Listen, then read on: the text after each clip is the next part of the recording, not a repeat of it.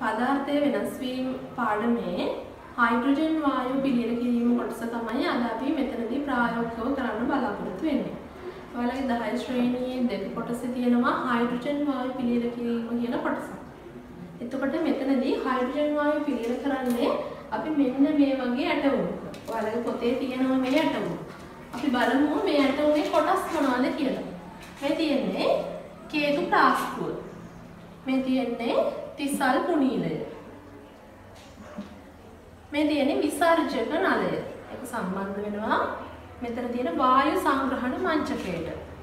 වායු සංග්‍රහණ මංචකය. ඊට පස්සේ මේ තියෙන්නේ වායු සරාව.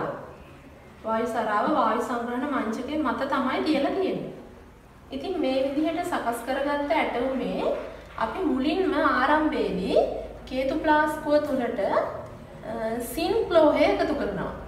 සින්ක්ලෝහය එකතු කරලා පසුව තිසල් කුණීලයෙන් ක්‍රමක්‍රමයෙන් අම්ලය කේතුප්ලාස්කුව තුලට එකතු කරනු ලබනවා. ඒ කියන්නේ පුතේ අපි දන්නවා අපි හයිඩ්‍රජන් වායුව පිළියෙල කරගන්න මෙතනදී යොදාගන්නේ සින්ක්ලෝහය සහ හයිඩ්‍රොක්ලෝරික් අම්ලය. සින්ක් හයිඩ්‍රොක්ලෝරික් එක ප්‍රතික්‍රියා කරාට පස්සේ සින්ක් ක්ලෝරයිඩ් සහ හයිඩ්‍රජන් සකස් වෙනවා. මේ සෑදෙන හයිඩ්‍රජන් තමයි අපි මෙතනදී එකතු කරගනු ලබන්නේ. හරි. එතකොට අපි බලමු එහෙනම් මෙන්න මේ ඇටෝමට අදාළව අපි මෙතනදී ප්‍රායෝගිකව යොදා ගන්න උපකරණ මොනවද කියලා. මේ තියෙන්නේ ඔයගොල්ලන් දැකපු කේතු ප්ලාස්කුව. කේතු ප්ලාස්කුව. මේ තියෙන්නේ තිසල් පුනීලය. තිසල් පුනීලය. මේක තමයි විසර්ජක නලය. ඒ වගේම මේ තියෙන්නේ ජල ද්‍රෝණිකාව. අපි වායුව එකතු කරගන්නා වායු සරාව තමයි මේක. එතකොට ඊළඟට මේ වායු සරාව තියන්නේ මෙන්න මේ වායු සංග්‍රහණ මංචකය මත මේ විදිහට. වායු සංග්‍රහණ මංචකය කියලා කියන්නේ මෙන්න මේ උපකරණයට. හරි. ඊට පස්සේ අපි කරන්නේ සින්ක් ලෝහයට HCl එකතු කරන එක. පුතේ මෙතනදී මේ තිසල් පුනීලය ඔයගලන්ට පේනවා ඇති. මේකේ පතුලටම දාලා තියෙනවා. සින් මේ මේ සින් කැබලි වලටම දාලා තියෙනවා ගෑවෙන්නම තිසල් පුනීලය. අපි එහෙම දාන්නේ මෙතනදී හැදෙන වායුව තිසල් පුනීලයත් විසර්ජක නලය වගේ ඉහළින් තිබ්බොත් එහෙම තිසල් පුනීලෙනුත් වායුව එළියට පිට වෙනවා. විසර්ජක නලයෙන් විතර නෙමෙයි තිසල් පුනීලෙනුත් පිට වෙනවා කියන්නේ අපිට එක්ස්ප්‍රෙස් කරගන්න වායු ප්‍රමාණය මදි වෙනවා. ඒ නිසා අනිවාර්යයෙන්ම අපි තිසල් පුනීලය මේකේ හේතු ප්ලාස්කුවේ පතුලටම දාන්න ඕන. හරි. එහෙනම් දැන් අපි මේකේ වායුව එකතු කරගන්න විදිහ බලමු. ප්‍රැක්ටිකල් එක කරලා බලමු. මෙතනදී අපි යොදා ගන්නවා වෙන මේ සින්ක් ලෝහය. ඔයගලන්ට පේනවා ඇති සින්ක් ලෝහය කුඩා කැබලි වලට කපලා මම හදන් තියෙනවා. ඒ වගේම මේකේ තියෙනවා අම්ලය. හයිඩ්‍රොක්ලෝරික් අම්ලය. අම්ලය තමයි මේකට දාන්නේ. එතකොට තිසල් පුනිලෙන් තමයි අපි අම්ලය දාන්නේ. තිසල් පුනිලේ තියෙන අම්ලය දාගන්න. එතකොට ආරම්භයේදී අපි කේතු ප්ලාස්කුවට ලෝහ කැබලි දාලා තමයි මේ විදිහට කිර ලැබේ තද කරන්නේ. ඊට පස්සේ ක්‍රමක්‍රමයෙන් හයිඩ්‍රොක්ලෝරික් අම්ලය තිසල් කුණීලයට යොදනවා. ඊට පස්සේ මේ කෙලවරින් මේ විසර්ජක නලයේ කෙලවරින් අපි වායුව එක්රැස් කරගනු ලබනවා. හරි. එතකොට මෙතනදී පුතේ වායුව එකතු වෙන්නේ දැන් අපි මෙතනදී වායු සරාවට වතුර එකක්ම පුරවලා මුණින් නමලා තමයි තියන්නේ වායු සංග්‍රහණ මංචකයේ මත. එතකොට වායු සරාවට වායුව එකතු වෙන්නේ ජලය පල්ලෙහාට තෙරපගෙන වායුව උඩට එකතු වෙනවා. ජලය පල්ලෙහාට තෙරපගෙන වායුව උඩට එකතු වෙන හින්දා අපි කියනවා මේක ජලයේ යටිකුරු විස්ථාපනය කියලා. මොකද ජලය පල්ලෙහාටනේ යන්නේ. ජලය පල්ලෙහාට යන හින්දා අපි කියනවා ජලයේ යටිකුරු විස්ථාපනය කියලා. මෙතනදි මම වායු සරාව වෙනුවට මෙන්න මේ කැකෑරුම් නලය ගන්නවා. උතේ හේතුව තමයි වායු සරාවෙන් එකක්ම වායුව එකතු කරගන්න ගියොත් අපිට බොහෝ කාලයක් ගත වෙනවා. ඒ හින්දා අපි කැකෑරුම් නලය ගමු කෙටි කාලයකින් වායු ප්‍රමාණයක් එකතු කරගන්න. ඉස්සෙල්ලා මම කරන්නේ මේ විදිහට කැකෑරුම් නලේ වායු බුබුලු එකක්වත් නැති වෙන විදිහට මෙන්න මෙහෙම කැකෑරුම් නලයට වතුර පුරව ගන්නවා. ඊටසේ වායු සරාව මේ විදිහට තියලා මම මේ කැකෑරුම් නලය වායු සංග්‍රහණ මංචකේ වායු සංග්‍රහණ මංචකේ මේ විදිහට තියලා වායු සංග්‍රහණ මංචකේ උඩින් මේ විදිහට කැකෑරුම් නලය මුණින් නම. හරි. ඊට පස්සේ තමයි අපි වායුව එකතු කරගන්නේ. පුතේ මෙතනදී අපි අම්ලය දාලා අම්ලය දාලා මද වේලාවක් මේකේ චුට්ටක් මේක ඇතුලේ වෙනත් වායු තියෙන්න පුළුවන්නේ. ඒ වායු පිට වෙන්න ඉඩ දෙන්න ඕනේ. මේ විදිහට තිසල්පු නිලයෙන් අම්ලේ දාලා මේ විදිහට මෙතනින් ඔයගලන්ට පේනවා ඇති බුබුලු ආකාරයට පිට වෙන්න ඉඩ දෙන්න ඕනේ මුලින්ම මේකේ තියෙන වායු. ඊට පස්සේ ඔන්න දැන් වායු බුබුලු කිහිපයක් පිට වුණා. දැන් අපි මේකට මේ විදිහට සම්බන්ධ කරලා අම්ලය දාමු. එතකොට බලන්න මෙන්න මේ කැකෑරුම් නලයට වායුව එකතු වෙන හැටි. පේනවද? කැකෑරුම් නලයට මේ බලන්න එකතු වෙන හැටි. අපි ක්‍රමක්‍රමයෙන් අම්ලය දාමු. මොකද උනේ? එකපාරම ක්‍රමක්‍රමයෙන් වායුව එකතු වුණා. හරි. එහෙනම් ඔන්න දැන් අපි වායුව එකතු කරගත්තා. මේ බලන්න වැඩිපුර වායුව බුබුලනේ වෙවි. දැන් මේකේ තවත් ඉඩ නැහැ නේ. ඒ හින්දා බුබුලනේ වෙලා ජල භාජනයෙන් ද්‍රෝණිකාවෙන් එළියට යනවා. හරි. දැන් මේ වායුව පරීක්ෂා කරන්න ඕනේ අපිට මේ නිපදුනේ හයිඩ්‍රජන්මද කියලා. නේද? හයිඩ්‍රජන්මද කියලා පරීක්ෂා කරද්දී ඔයගොල්ලන් දන්නවා මේකට අපි යොදා ගන්නවා දැල් වෙන පුළිඟු පීරක්. පුළිඟු පීරක් කියලා කියන්නේ ඉරටු කූරක් හෝ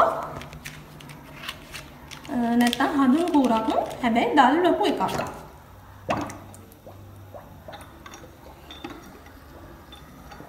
හරි අපි මේක දල්වා ගන්න අවශ්‍යයි.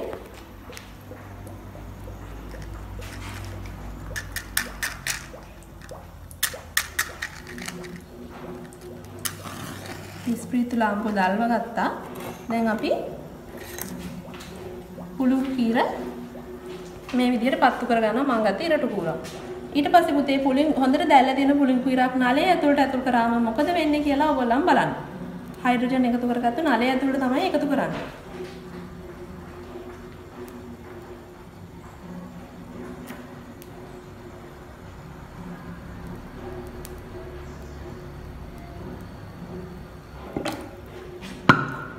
දැක්කද? පොප් හඬ නංවමින් දැල්ල නිවුණා.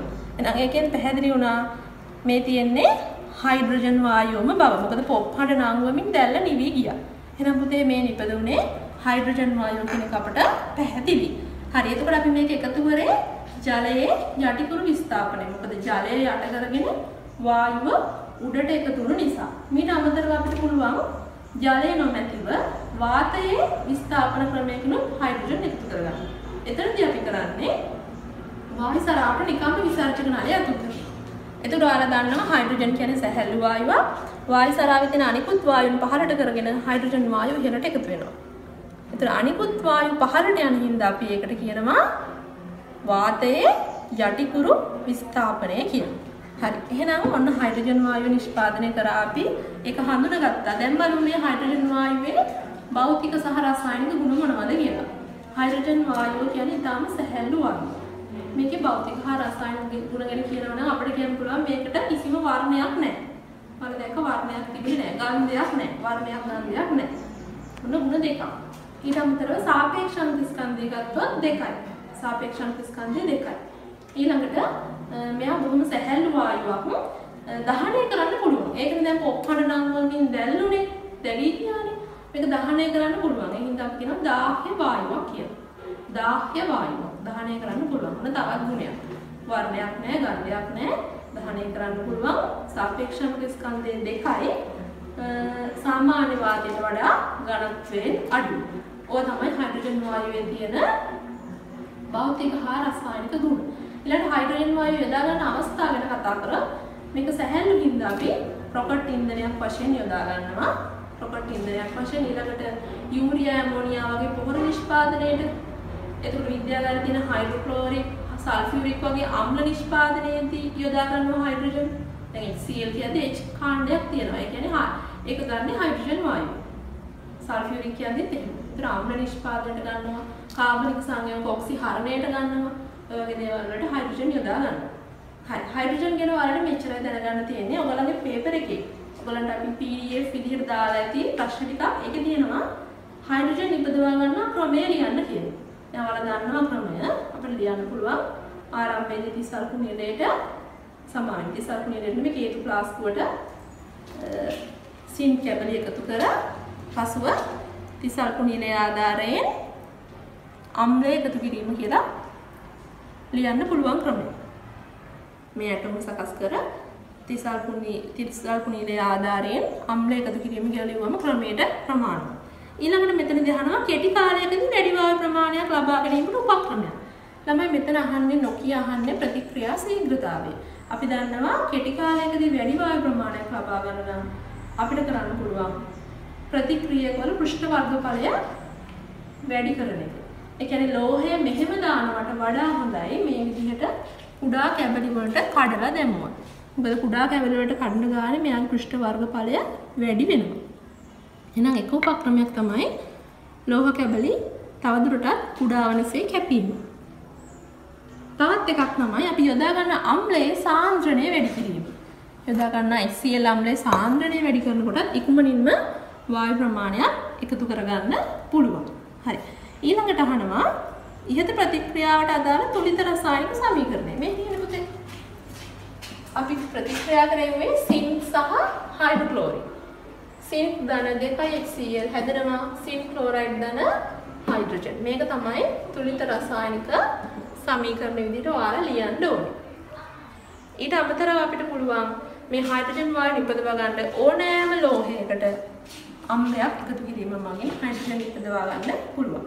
ඊළඟට අහනවා හයිඩ්‍රජන් වායුව හඳුනා ගැනීමට ඔබ සිදු කළ පරීක්ෂණය. ඉතින් අපි කියන්න ඕනේ දැල් වෙන කුලිකු කිරා හයිඩ්‍රජන් සහිත වායු සරාවට ඇතුළු කිරීම. දැල් වෙන කුලිකු කිරා හයිඩ්‍රජන් සහිත වායු සරාවට ඇතුළු කිරීම. එවිට පොක්හඬ නම් වලින් දැල් නිවි යනවා නම් අපි දන්නවා ඒ තියෙන්නේ හයිඩ්‍රජන් කියලා. හරි. මෙතනදී හයිඩ්‍රජන් වායුව සම්බන්ධ සියලු කරුණු ඔයගොල්ලන්ට පැහැදිලි වෙන්න ඇති කියලා මම හිතනවා.